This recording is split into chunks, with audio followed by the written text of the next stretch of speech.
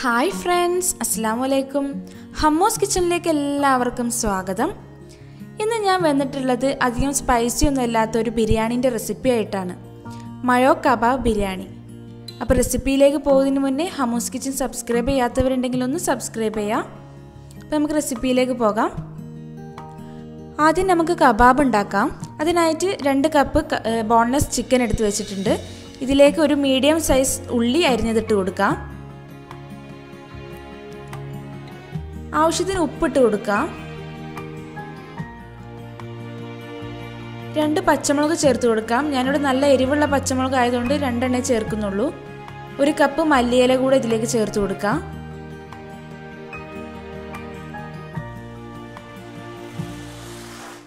ഇഞ്ചി വെളുത്തുള്ളി പേസ്റ്റ് മൂന്ന് ടേബിൾ സ്പൂൺ ഇതിലേക്ക് ചേർത്ത് കൊടുക്കാം. ഇനി നമ്മൾ പൊടികളാണ് ചേർക്കുന്നത്. ഞാൻ ഇവിടെ കടലപ്പൊടി രണ്ട് ടേബിൾ സ്പൂൺ ചേർത്ത് കൊടുക്കുന്നുണ്ട്.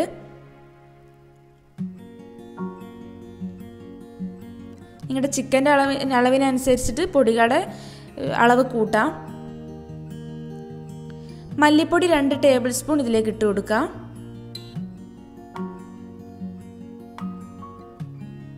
കുരുമുളക് ഒരു ടേബിൾ സ്പൂൺ ഇതിലേക്ക് ഇട്ട് കൊടുക്കാം. വലിയ ജീരകം ഒരു ടേബിൾ സ്പൂൺ ഇതിലേക്ക് ഇട്ട് കൊടുക്കാം. ഞാൻ ചേർക്കുന്നത് റെഡ് ചില്ലി ക്രഷ് ചെയ്തതാണ്. ഇത് ഒരു ടേബിൾ സ്പൂൺ ഇതിലേക്ക് ചേർത്ത് കൊടുക്കാം. ഇനി ഇത് നന്നായിട്ടൊന്ന് മിക്സ് ചെയ്തെടുക്കാം. ഇനി ഇതിലേക്ക് ഒരു മുട്ട പൊട്ടിച്ചൊഴിച്ചു കൊടുക്കാം.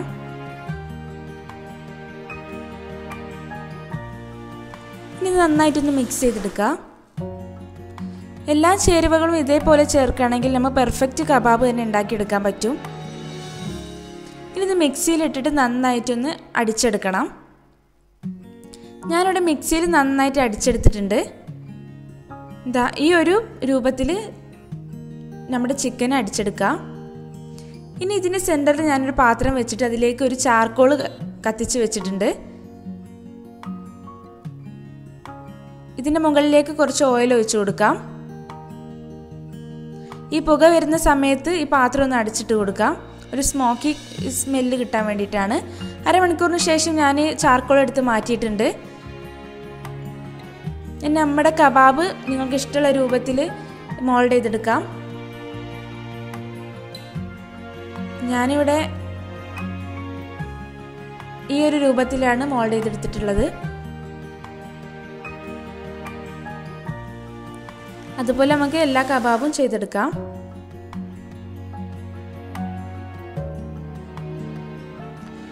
പാൻ ചൂടാ ചൂടാകാൻ വെക്കാം. അതിലേക്ക് രണ്ട് കപ്പ് ഓയിൽ ഒഴിച്ചു കൊടുക്കാം. ഇനി കുറച്ച് ഉള്ളി ഫ്രൈ ചെയ്തെടുക്കാം.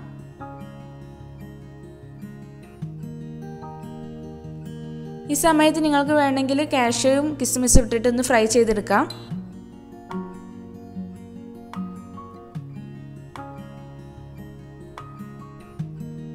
ഇപ്പോൾ ഉള്ളിയുടെ നിറമെല്ലാം അവിടെ മാറി വന്നിട്ടുണ്ട്. നമ്മുടെ ഉള്ളി കുക്കായിട്ടുണ്ട്. ഈ സമയത്ത് ഉള്ളി എടുത്ത് മാറ്റാം.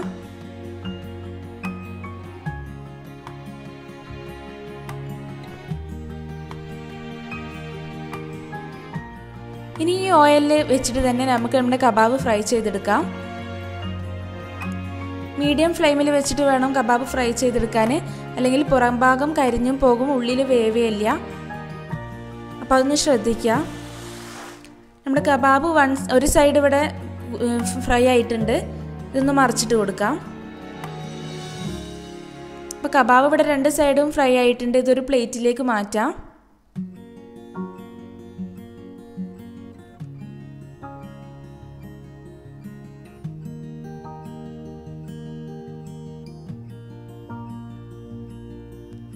ഇതുപോലെ എല്ലാ കബാബും ഫ്രൈ ചെയ്തെടുക്കാം.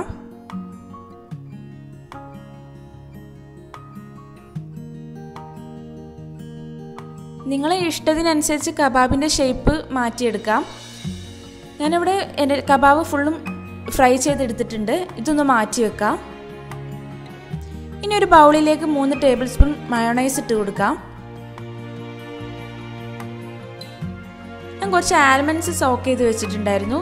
ഇതിന്റെ തൊലിയെല്ലാം പോക്കിയിട്ട് മിക്സിയിൽ നന്നായിട്ട് പേസ്റ്റ് പോലെ അടിച്ചെടുക്കുക. കാൽ കപ്പ് വെള്ളം ചേർക്കാവുന്നതാണ്.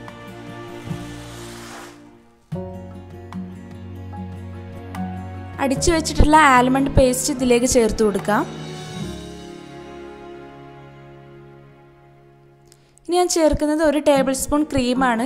ഇത് നിർബന്ധമല്ല ഓപ്ഷണലാണ് എന്നിട്ട് നന്നായിട്ടൊന്ന് മിക്സ് ചെയ്ത് കൊടുക്കുക കട്ടൊന്നും ഇല്ലാത്ത രീതിയിൽ നന്നായിട്ട് മിക്സ് ചെയ്തെടുക്കുക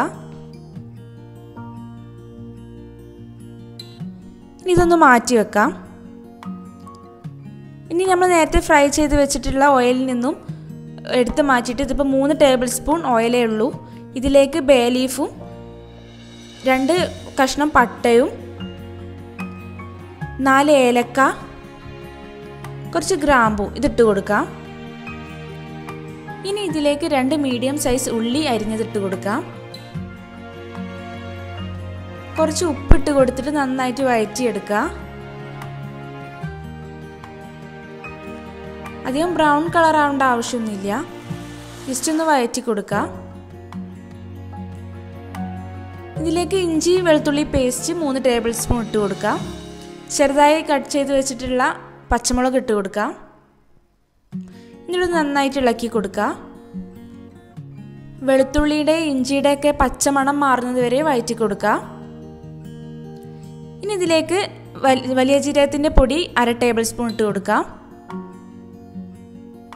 ഗരം മസാല അര ടേബിൾ സ്പൂൺ ഇട്ട് കൊടുക്കാം. കുരുമുളക് പൊടി അര ടേബിൾ സ്പൂൺ ഇട്ട് കൊടുക്കാം. നമ്മൾ അധികം സ്പൈസസ് ഒന്നും ഇതിലേക്ക് ചേർക്കുന്നില്ല. ഇനി നന്നായിട്ട് ഇളക്കി കൊടുക്കാം.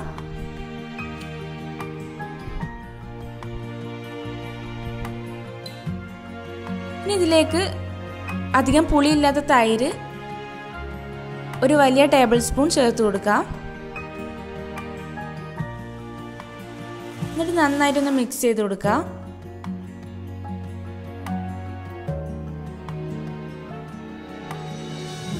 ഇനി ഇതിലേക്ക് നമ്മൾ നേരത്തെ മാറ്റി വെച്ചിട്ടുള്ള മയോണൈസിന്റെയും കൂട്ട് ഇതിലേക്ക് ഒഴിച്ചു കൊടുക്കാം. കുറച്ച് കുറച്ചായിട്ട് ചേർത്തിട്ട് നന്നായിട്ട് ഇളക്കി കൊടുക്കാം.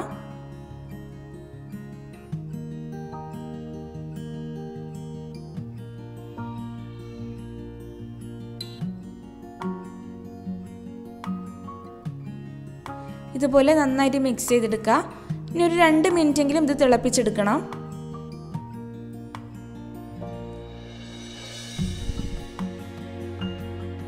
മസാല തിളച്ച് വരുന്നുണ്ട്. ഇതിനടുപ്പത്തുനിന്ന് മാറ്റി വെക്കാം. ഇനി നമുക്ക് ദമ്മിടാൻ തുടങ്ങാം. റൈസ് ഇവിടെ ഞാൻ ഉപ്പ് ഇട്ടിട്ട് നന്നായിട്ട് വേവിച്ചെടുത്തിട്ടുണ്ട്. കുറച്ച് ഓയിൽ ഒഴിച്ചിട്ടുണ്ടെങ്കിൽ ഇതുപോലെ റൈസ് വിട്ട് വിട്ട് കിട്ടും. ഇനി നമുക്ക് ഇടാൻ വേണ്ടിയിട്ടുള്ള പാത്രം എടുത്ത് വെക്കാം. അതിലേക്ക് രണ്ട് ടേബിൾ സ്പൂൺ നെയ്യ് ഇട്ട് കൊടുക്കാം. എന്നിട്ടൊന്ന് ഗ്രീസ് ചെയ്തെടുക്കാം ഇനി ഇതിന്റെ മുകളിലേക്ക് നമ്മുടെ റൈസിന്റെ മൂന്നിലൊരു ഭാഗം ഇട്ട് കൊടുക്കാം.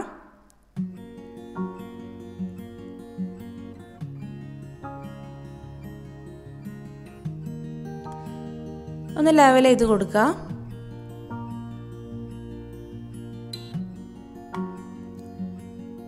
ഇതിന്റെ മുകളിലേക്ക് നമ്മൾ മാറ്റി വെച്ചിട്ടുള്ള മസാലയുടെ പകുതി ചേർത്ത് കൊടുക്കാം എല്ലാ ഭാഗത്തും എത്തുന്ന രീതിയിൽ തന്നെ സ്പ്രെഡ് ചെയ്ത് വെച്ച് കൊടുക്കാം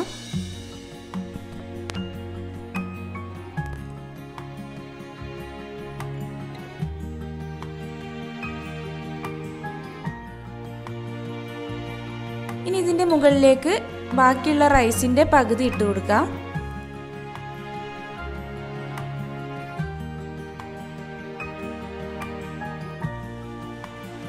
റൈസ് ഇട്ടിട്ട് നന്നായിട്ട് ലെവൽ ചെയ്തെടുക്കുക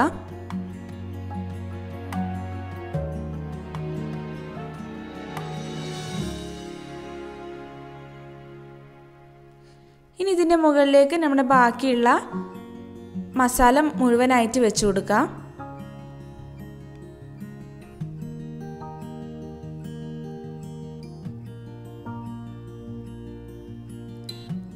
മുകളിലേക്ക് നമ്മൾ മാറ്റി വെച്ചിട്ടുള്ള കബാബ് മുഴുവനായിട്ട് വെച്ച് കൊടുക്കാം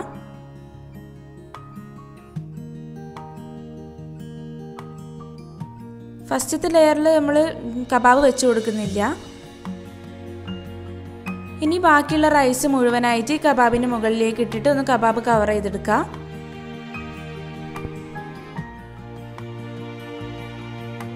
ഇനി ഇതിന്റെ മുകളിലേക്ക് കുറച്ച് മല്ലിയിൽ അരിഞ്ഞതിട്ട് കൊടുക്കാം